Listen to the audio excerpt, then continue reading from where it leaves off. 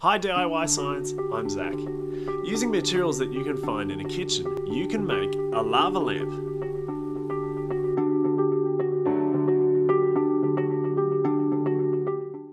To make a lava lamp, this is what you're going to need.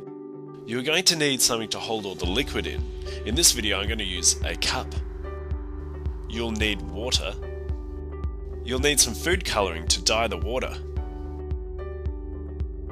You will also need some cooking oil. And finally you'll need some aspirin to make some bubbles with. So using all those materials, you are now ready to make a lava lamp. The first thing you want to do is get your cup and pour some water in it. Don't fill it up all the way, fill it up to about one third to halfway.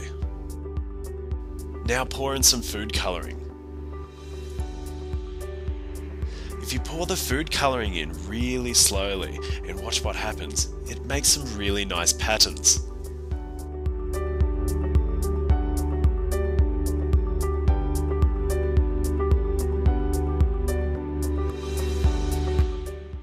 Now pour in your cooking oil, but make sure that you don't fill it all the way to the top.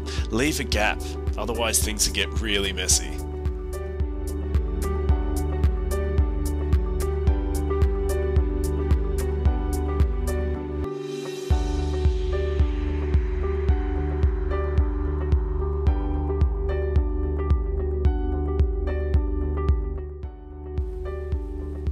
And here you can notice that the water and the oil isn't mixing.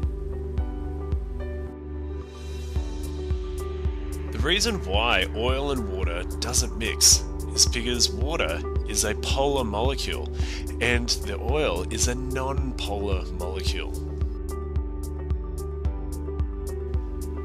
Think about a magnet.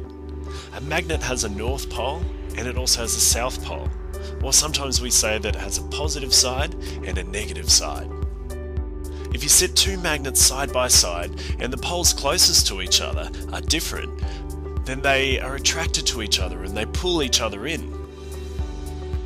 But if you sit magnets side by side to each other and their poles are different, then those poles, they're not attracted to each other and they actually push away from each other. Here we have a water molecule water molecule sometimes is referred to as H2O. And what that means is that the water molecule has two hydrogen atoms and one oxygen atom. Because of how the water molecule is shaped, with the hydrogens on one end and the oxygen on the other end, it actually means that it has poles, very similar to a magnet, where it has a positive charge on one end and a negative charge on the other end.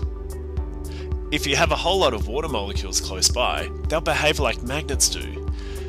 The ends that have a positive charge will be attracted to the ends that have a negative charge, and they all start pulling in close to each other, and what happens is that they all line up in the same order, with a positive end and a negative end. Here we have an oil molecule, and this is a non-polar molecule. Now, this is a very rough drawing of an oil molecule, there are many different types of oil molecules out there, but they generally are big, long chains of atoms with a similar structure. Here in this oil molecule, you can see that the positive charges are actually in the center of the atom, and on the outside is where all the negative charges are. And because of this, the oil molecule doesn't have a positive end and a negative end. And when you poured the oil and the water into the cup, you saw that they didn't mix, that the water was at the bottom and the oil was at the top. And the reason why this is, is because water is a polar molecule and oil is a non-polar molecule.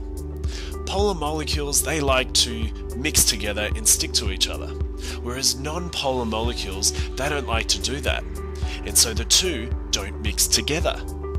However, where you can see that the water molecules meet the oil molecules, the positive ends of the water molecules are touching the negative outside of the oil molecules, and that's the only time that they will meet. Now we know why water and oil doesn't mix. To make your lava lamp go, just pick up your aspirin and pop it into the cup. Try making some lava lamps with some different colours, just like what I've done here. You can see that all these bubbles of water are floating up into the oil but it's still not mixing. So why won't it still mix? Well, as the bubble of water molecules rises, you can see that all of its positive ends face outwards to the negative outside of the oil molecules, just like magnets behave.